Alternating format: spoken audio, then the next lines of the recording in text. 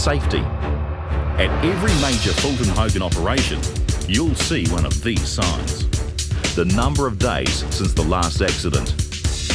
You don't see these over the photocopier in an accountant's office or by the food court in the shopping mall. Our concern for all our staff is uh, probably manifested in our, in our safety objectives. We regard it as a very, very important part of our business not to injure our staff. It's not only is it, is it ingrained in you through training courses and things like that, but um, it, it's also just an attitude for the guys on site. I have to induct the guys when they come out on site and the guys are trained to keep their wits about them. Roading construction, you have a lot of traffic to work around and you have to have eyes in the back of your head a lot of the time. It's a high risk business to be in and we need to put these measures in place.